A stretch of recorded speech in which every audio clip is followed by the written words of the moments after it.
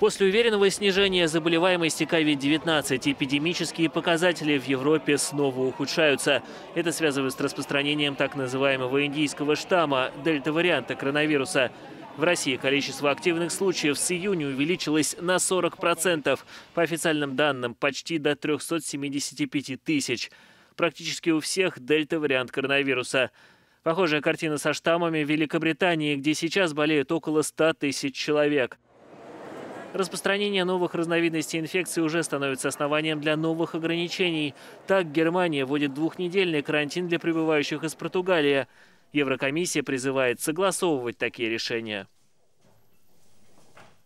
Важно, чтобы о любых чрезвычайных мерах как можно скорее информировали Еврокомиссию и другие страны Союза. Государства-члены ЕС должны следовать согласованным рекомендациям о введении таких жестких ограничений, как карантин без запрета на путешествия.